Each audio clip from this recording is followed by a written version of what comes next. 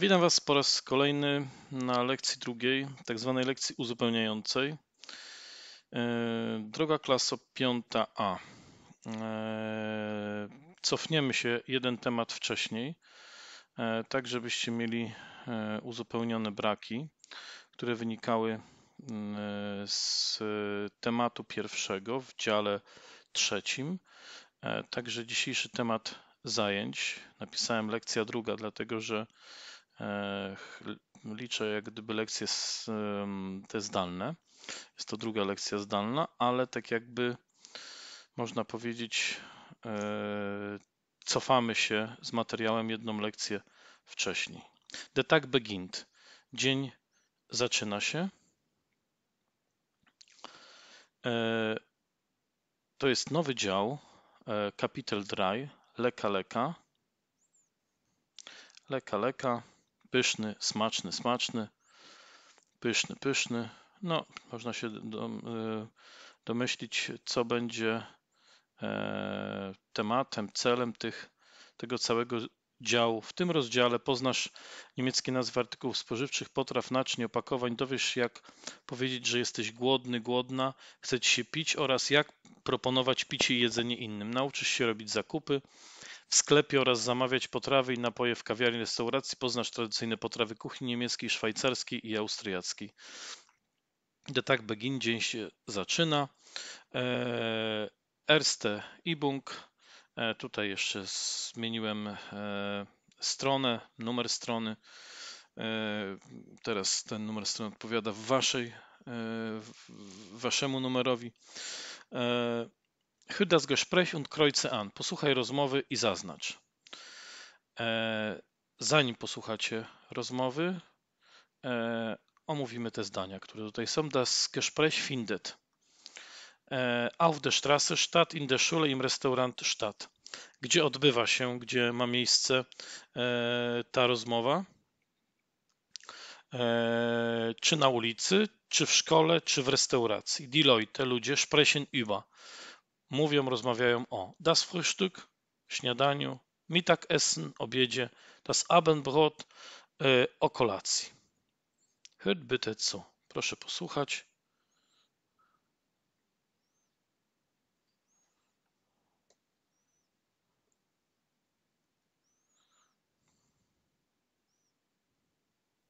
Kapitel 3 Aufgabe 1 Wie sieht euer Frühstück aus? Jakob, erzähl mal. Zum Frühstück esse ich immer das gleiche. Cornflakes mit Milch. Dazu esse ich oft ein Schinkenbrot und trinke Orangensaft.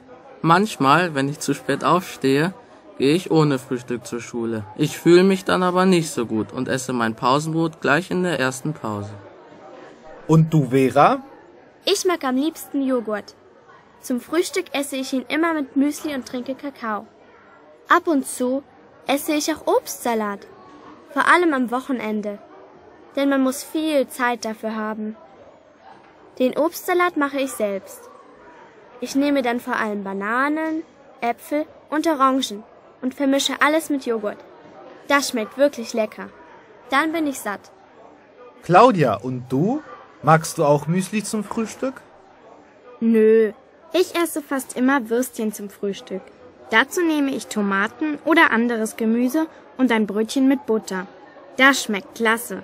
Meine Mutter wundert sich immer, jeden Tag nur Würstchen, aber ich mag meine Würstchen wirklich. Ach, und dazu trinke ich dann Tee. Ich frühstücke allein und ziemlich schnell. Nur sonntags ist es anders. Da stehen alle später auf und frühstücken lange zusammen.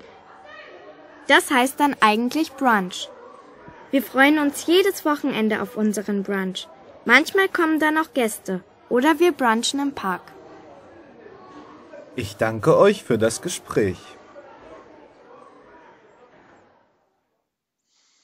Gut. Wo findet das, wo findet das Gespräch statt?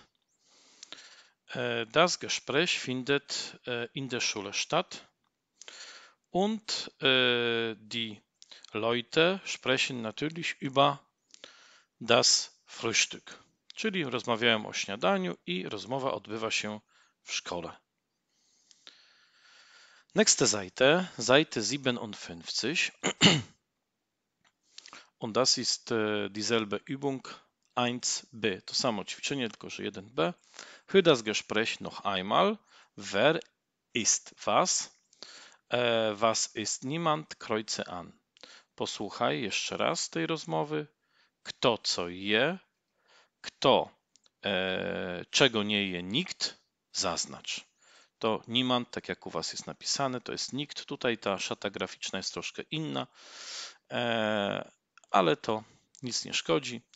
E, poradzimy sobie z tym e, śmiało. Wasze zadanie teraz jest napisać w zeszytach po kolei osoby, które co jedzą, zaznaczyć sobie Wera, Jakob, Klaudia, można to zaznaczyć skrótowo e, na przykład napisać Jakob i później po myślniku was ist Jakob. Jakob ist i po kolei co on je. E, więc zaczynamy odsłuchiwanie drugi raz i proszę uważać i zaznaczać, co jedzą poszczególne osoby. Wer ist was? Kapitel 3 Aufgabe 1 Wie sieht euer Frühstück aus? Jakob, erzähl mal. Zum Frühstück esse ich immer das gleiche. Cornflakes mit Milch. Dazu esse ich oft ein Schinkenbrot und trinke Orangensaft. Manchmal. Also, Jakob hat gesagt, er isst Cornflakes mit. Das war mit Milch. mit Milch. Dazu trinkt er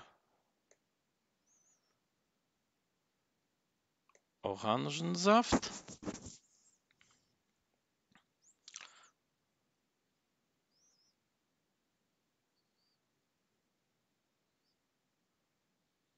Wenn ich zu spät aufstehe, gehe ich ohne Frühstück zur Schule. Ich fühle mich dann aber nicht so gut und esse mein Pausenbrot gleich in der ersten Pause. Und du, Vera? Ich mag am liebsten Joghurt. Zum Frühstück esse ich ihn immer mit Müsli und trinke Kakao. Also, Vera isst Joghurt mit Müsli und trinkt Kakao. Wo ist Kakao? Hier ist Kakao. Was noch?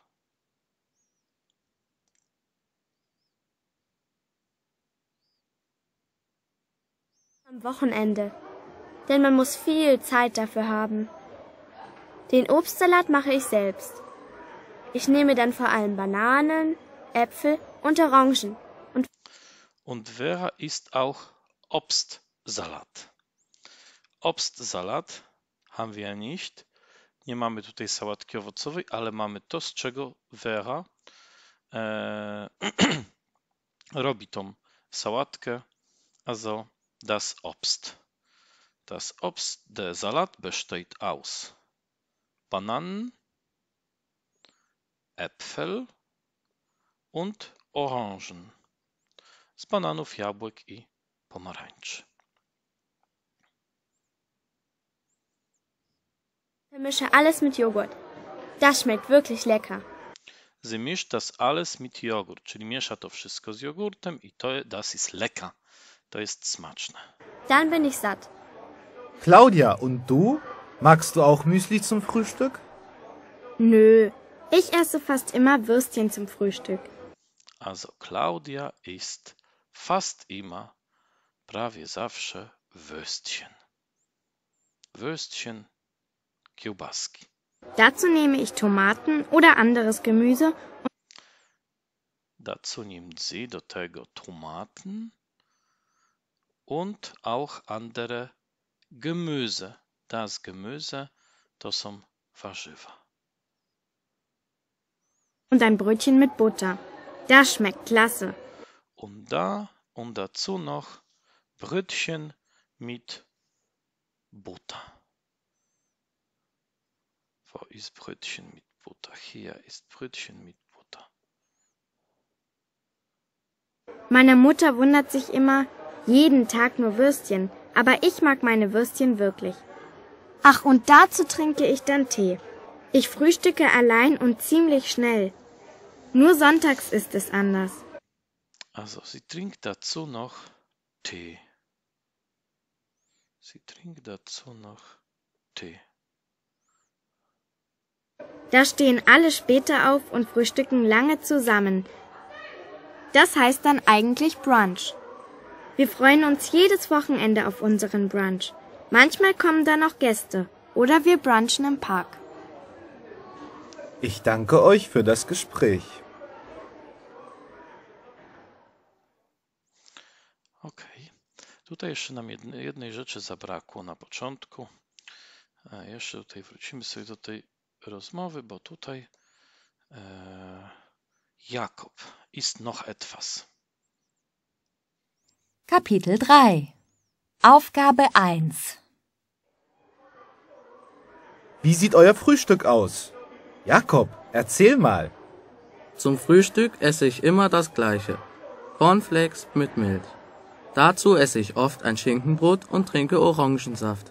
Manchmal, wenn ich zu spät aufstehe, ich ohne Schinkenbrot. Tego tutaj brakowało. Posłuchajcie do końca teraz całości jeszcze. Frühstück zur Schule. Ich fühle mich dann aber nicht so gut und esse mein Pausenbrot gleich in der ersten Pause. Und du, Vera? Ich mag am liebsten Joghurt. Zum Frühstück esse ich ihn immer mit Müsli und trinke Kakao. Ab und zu esse ich auch Obstsalat. Vor allem am Wochenende. Denn man muss viel Zeit dafür haben. Den Obstsalat mache ich selbst. Ich nehme dann vor allem Bananen, Äpfel und Orangen und vermische alles mit Joghurt. Das schmeckt wirklich Bananen, lecker. Äpfel, Dann bin ich satt. Claudia, und du? Magst du auch Müsli zum Frühstück? Nö, ich esse fast immer Würstchen zum Frühstück. Dazu nehme ich Tomaten oder anderes Gemüse und ein Brötchen mit Butter. Das schmeckt klasse. Meine Mutter wundert sich immer, jeden Tag nur Würstchen, aber ich mag meine Würstchen wirklich. Ach, und dazu trinke ich dann Tee. Ich frühstücke allein und ziemlich schnell. Nur sonntags ist es anders. Da stehen alle später auf und frühstücken lange zusammen. Das heißt dann eigentlich Brunch. Wir freuen uns jedes Wochenende auf unseren Brunch. Manchmal kommen da noch Gäste oder wir brunchen im Park. Ich danke euch für das Gespräch.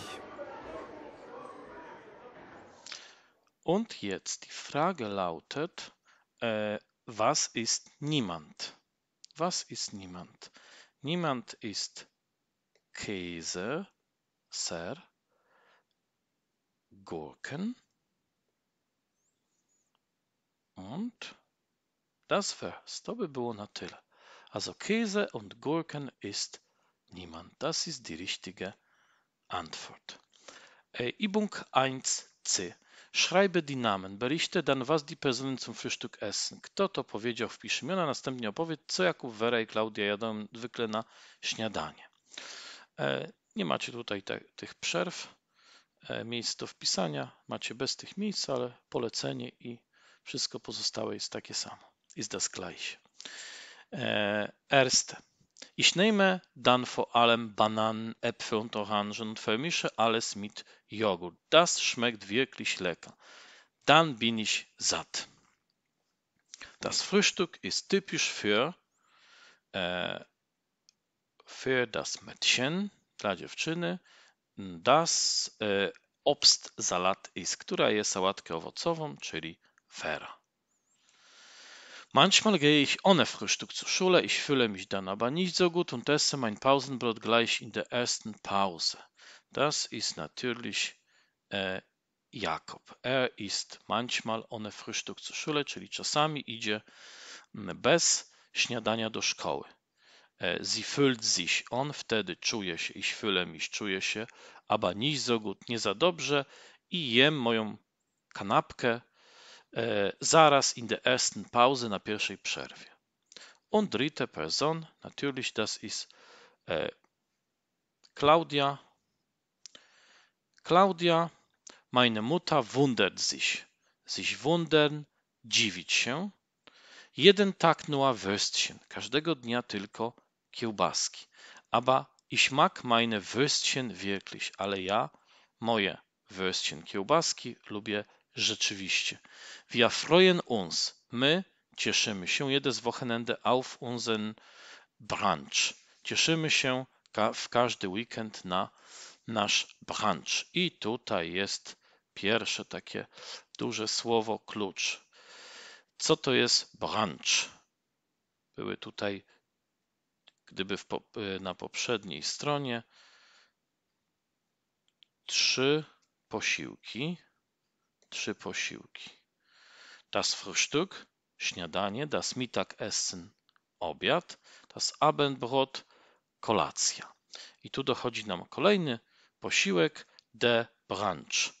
De brunch jest połączeniem dwóch angielskich słów, mianowicie breakfast i lunch, co daje razem brunch. W wolnym tłumaczeniu moglibyśmy nazwać to śniadanie obiadem, czyli to jest taki posiłek pomiędzy śniadaniem a obiadem. Brunch. E, manchmal kommen dann auch Gäste. Czasami przychodzą goście. Oda via i od tego powstał czasownik brunchen, e, czyli jemy ten śniadanie, obiad im park, w parku. Jak zauważyliście, e, tutaj na tej stronie pojawiło się już mnóstwo różnych e, rzeczowników. Tutaj też dodatkowe słówka. Zaraz będziemy te słówka opisywać.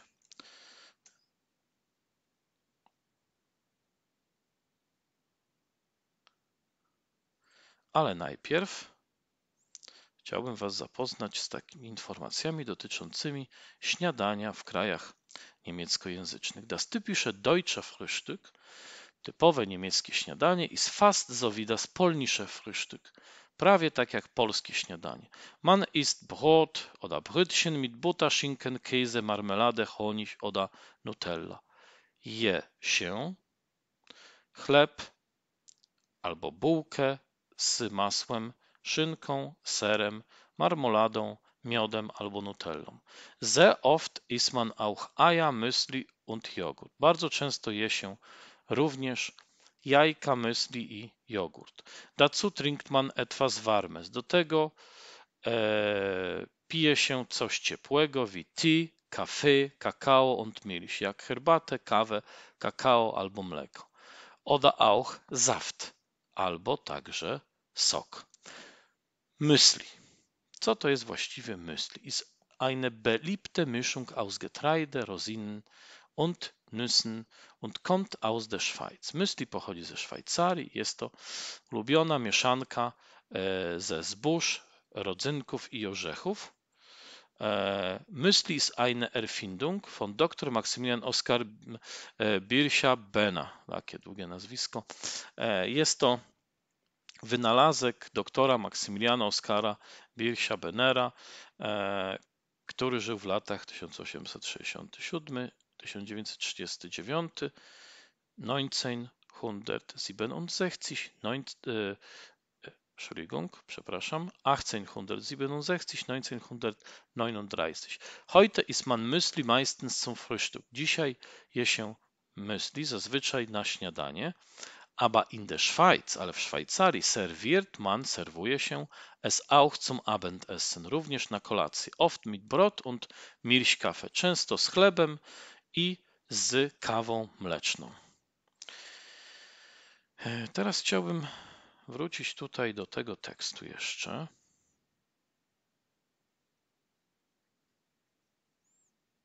Tutaj był, jak ja muszę nieraz podwójnie zrobić, żeby złapać ostrość, podwójnie przybliżyć.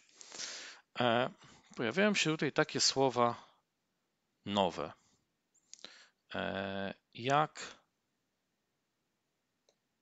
zdanie ich fühle mich. Co oznacza ja czuję się? Albo meine Mutter wundert sich. Moja mama dziwi się. E, Wir freuen uns. My cieszymy się. Tutaj mamy do czynienia z tak zwanymi czasownikami zwrotnymi. W języku polskim również występują takie czasowniki zwrotne, ale jest pewna zasadnicza różnica. Zaraz zobaczycie jaka.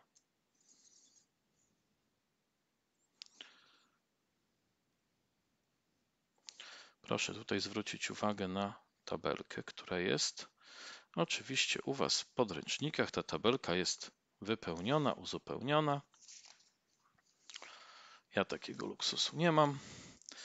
E, I pierwsze zdanie. Ich fühle mich. Dan aber nicht e, gut. Nie czuję się dobrze. Meine Mutter wundert sich. Moja mama się dziwi. Wir freuen uns. My cieszymy się jedes Wochenende auf unseren Branch. Cieszymy się w każdy weekend na e, nasz branch. I odmiana takiego czasownika zwrotnego. E, ich freue mich, du freust dich, er sie es freut sich. Wir freuen uns, ihr freut euch, sie sie freuen sich. E, I teraz zasadnicza różnica jaka jest, jeżeli byśmy to przetłumaczyli na polski, ja cieszę się, ty cieszysz się, on się, on cieszy się, my cieszymy się, wy cieszycie się, oni, one, pan, pani, państwo cieszą się. Od razu widać tą różnicę, że e, w języku polskim czasownik zwrotny w każdej osobie ma się. Natomiast tutaj każda osoba zawiera inny czasownik zwrotny. Czasowniki sich fühlen, powtarzam jeszcze raz, czuć się, sich wundern, dziwić się, sich freuen, cieszyć się, są czasownikami zwrotnymi. W języku polskim czasowniki zwrotne rozpoznasz po zaimku się. W przeciwieństwie do polskiego się, które ma zawsze taką samą formę, niemiecki zaimek zwrotny sich, czyli się, podlega odmianie.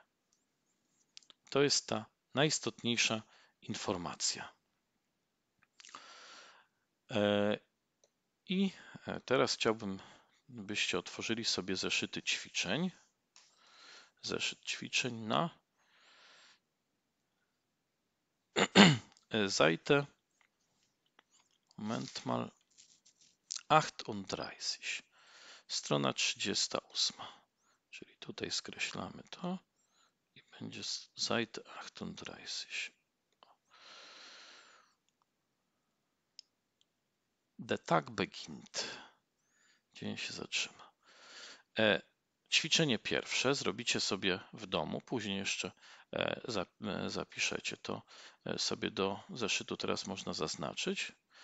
Tu trzeba wpisać w krzyżówkę rzecz, rzeczowniki, które już poznaliście dzisiaj i rozwiązanie zapisać E, następnie w drugim ćwiczeniu należy e, wstawić w odpowiedniej formie e, czasownik Essen. Przypomnę, odmiana czasownika Essen była już robiona. Chciałbym, żebyście sobie to przypomnieli i otworzyli podręczniki na stronie 20. W pierwszym dziale Seite 20. Seite 20. Seite 20.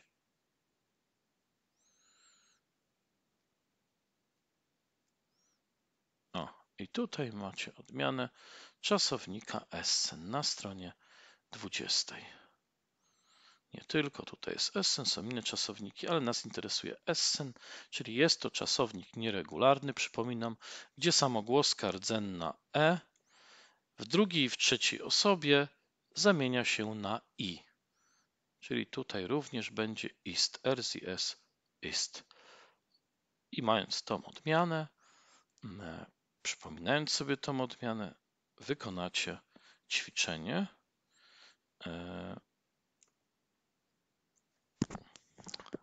E, drugie Punkt 2, Seite 38 ze strony 38. Wstawiając w, odpowiednią, e, w odpowiednie miejsce przepraszam. Chciałem przesunąć. Odpowiedni czasownik w odpowiedniej formie, znaczy czasownik Essen w odpowiedniej formie. Przypominam, że te zdania należy oczywiście przetłumaczyć tutaj obok w zeszycie ćwiczeń lub w zeszycie przedmiotowym. Nächste Übung. Übung 3. E, ćwiczenie trzecie i ćwiczenie czwarte, może ćwiczenie trzecie opiera się na, e, na czasownikach zwrotnych. Tutaj również należy e, wpisać same zaimki zwrotne w odpowiednie miejsca. Warum wunderst du dich eigentlich? Dlaczego ty właściwie się dziwisz? Ich freue i tu powinno być w tym miejscu na podstawie e, tabelki, która jest e, na stronie e, na stronie już mówię której 60 58 E, patrząc w tą tabelkę macie napisane ich freue mich, czyli tutaj wpisujecie miś. Ich freue mich immer auf die Wochenenden. Cieszę się zawsze na weekendy, na weekendy, które się e, zbliżają. Proszę pozostałe przykłady zrobić w domu z tłumaczeniem. Übung 4. Wpisujecie tutaj różne czasowniki e, i jest jeden czasownik zwrotny, czasowniki essen, frühstücken, mischen. Proszę tutaj wpisać e, czasowniki w odpowiedniej formie i w odpowiednie miejsce, uzupełniając tekst. Czyli ćwiczenie czwarte proszę w domu e, zrobić.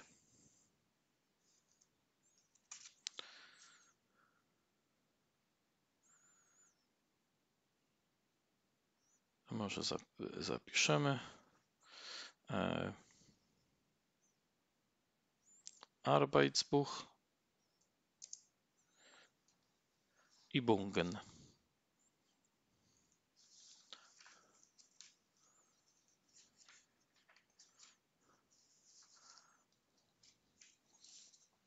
Już, już zapisuję.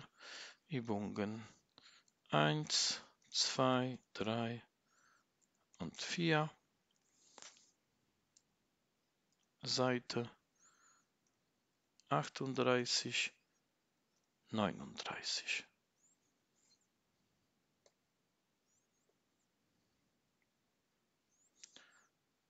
Achtunddreißig, neununddreißig. Dobrze. Teraz y, chciałbym wrócić tutaj do słownictwa. E, w tym dziale o jedzeniu będzie bardzo dużo słówek związanych z jedzeniem, czyli ilościowo będzie ich dużo. Zaraz powiem o co chodzi. Proszę robiąc te ćwiczenia, korzystać sobie ze, słowni e, ze słownika e, aktywnego słownictwa. To aktywne słownictwo znajduje się u Was na stronie już mówię. Seite 85, 85 i 86. I prośba do Was jest taka, żebyście na bieżąco zaznaczali sobie tutaj te słówka, które były na danej lekcji.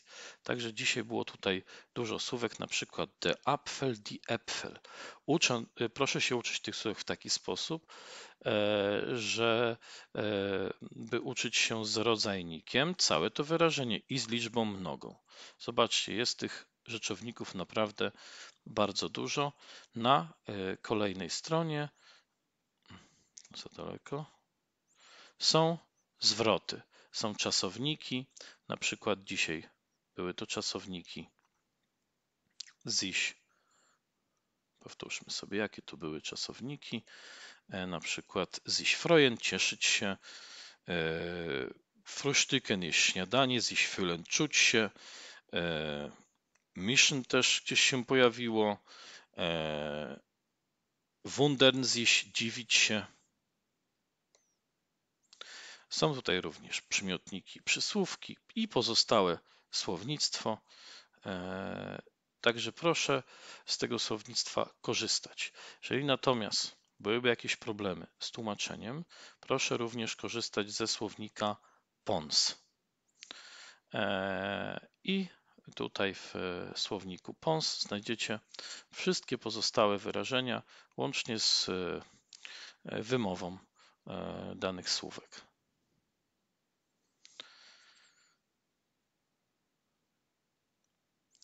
Zrobimy sobie tak, że e, gdyby nie była ta lekcja taka bardzo długa, podzielimy ją sobie czasowo na dwie lekcje, także zakończymy sobie na razie, e, jak gdyby e,